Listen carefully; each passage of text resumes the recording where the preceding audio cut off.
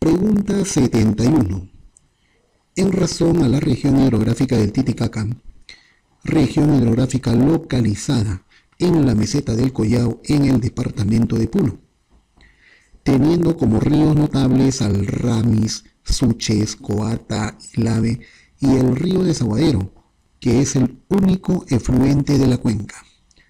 En cuanto al río Ramis, que es el río de mayor longitud y el más caudaloso, es considerado también en la actualidad como el río más contaminado de la región, debido al desarrollo de la minería informal en la cordillera oriental y en la provincia de San Antonio de Putina principalmente, problema que está ocasionando el deterioro y la alteración progresiva de la flora y fauna ribereña. Respuesta.